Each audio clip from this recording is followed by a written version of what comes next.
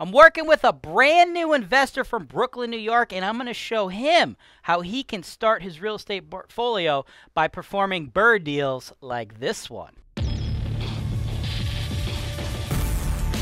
This is your show. This is the show where I work for you directly, taking your needs. I'm going through the MLS and I'm trying to find the best possible deal for you guys. Put down 25%. That's the perfect way to buy this. That's why real estate investing is the greatest industry in the world. Hey guys, welcome to another episode of the MLS Search and Analysis Show here on Holton Wise TV. As always, I'm James Wise. I'm your host, and today we are working from a new working for my man Jonathan from New York. He is a new investor, right? We are working for this new investor, man. You are ready to rock and roll, brother. You have $30,000 uh, in your bank account right now, in your hand. In addition, you are going to be adding to that monthly and you're interested in working with hard money lenders, okay? For those of you out there who've never heard the term hard money lenders, what that is is people who are in the business of loaning money to real estate investors and they're focusing their loans mainly on the asset, right? In this case, this this old ugly nasty house, right? They're focused on the asset, not necessarily your credit uh, and your income as much. They do factor that in, yes, but they're they're really looking at the deal. They're really going to analyze the deal, and if the deal's got teeth, they're going to be interested in loaning you guys money.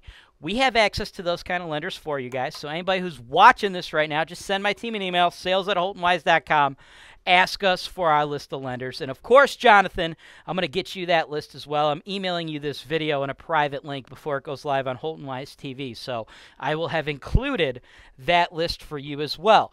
And what you're trying to do, brother, you're trying to do some BRRRR deals, right? Now, you're going to have to use financing okay? Because you can't do a BRRRR deal in Cleveland with only 30K, right? You're going to need to utilize your 30K, and then you're also going to need to utilize some type of lending, right? Because this is actually probably the cheapest BRRRR deal uh, that we can try to put together right now, and that's going to require a lot more than $30,000, right? So this house, this is all I got. It's this picture. This is the only picture we have, and when you're trying to do BRRRR deals, you need to understand, right?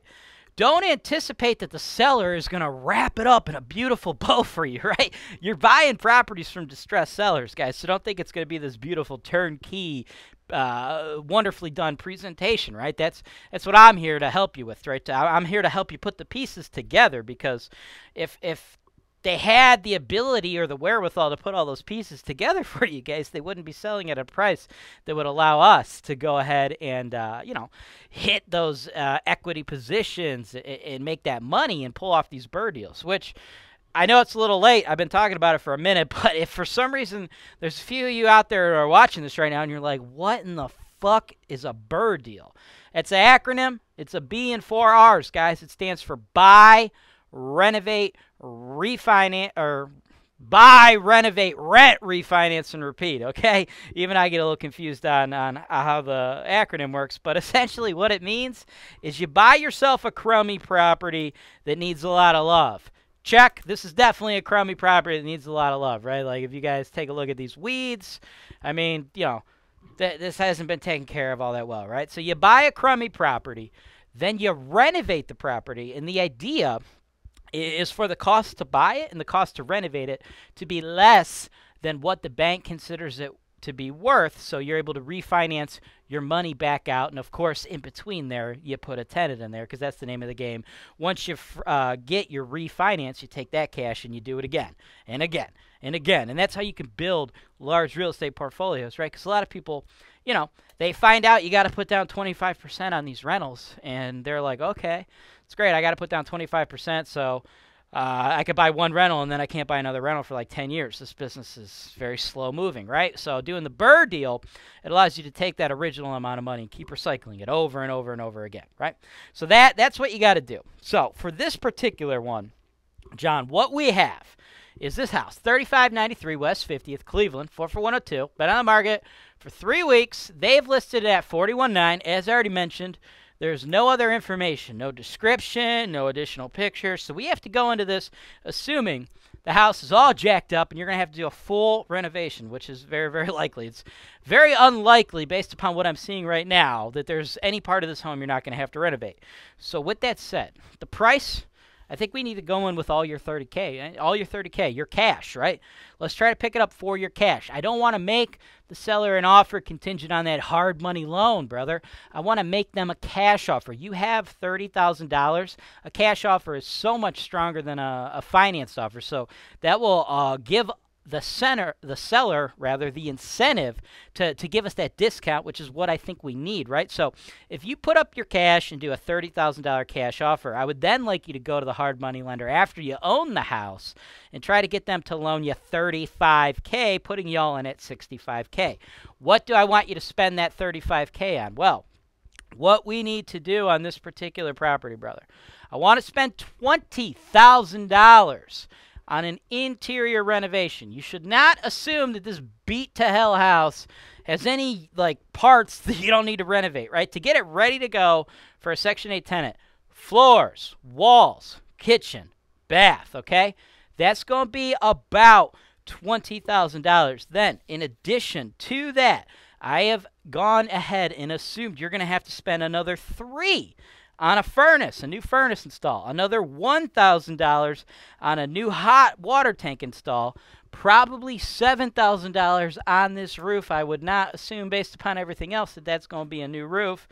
Then another 2K on upgrading that electrical. And then I got another 2K just like, yo, what's up? It's a, it's a big house. It's a big renovation, right? This is going in and assuming the worst, right? So $35,000. That puts you all in at $65,000. Now, of course, we're going to verify all this and we're going to get you a general home inspection. And really, the only thing we're really looking for in this general home inspection, because I'm assuming all the other stuff is going to uh, you know, be things you're going to have to touch. What we're really looking for is to make sure there's no major structural issues with the home. Because if there's structural issues with the home requiring foundation work, it's going to blow the budget, it's going to kill the deal. We're going to want to move on, right? So we'll get that due diligence done. Hey, lenders. Our investors are looking to work with you. Send us an email at sales at holtonwise.com. After that renovation, though, what you should anticipate, because it's a four bed, one bath house, is an $1,100 Section 8 tenant. After you get that tenant in there, we have a fully renovated asset. I anticipate you spending about $476 a month on those expenses, leaving you with an NOI of six and a quarter, on average 7500 a year just a little shy of $7500 a year. With your $65000 investment brother that's an 11 and a half cap. And because we have this beautiful brand new renovated house with all the fixings man we got the furnace we got the hot water tank we got the roof we got the $1100 tenant. The bank even though you only spent 65 g's i think the bank's going to praise this bastard at 75 g's if they do that they're going to give you back 56 and a quarter, meaning you only have to keep 8750 of your original $30,000 into the deal, thus making that a 53% return on your money. That's why people love the BRRRR strategy. That's why I think it could work. And John, of course, as you know, my team, we can do all that for you, right?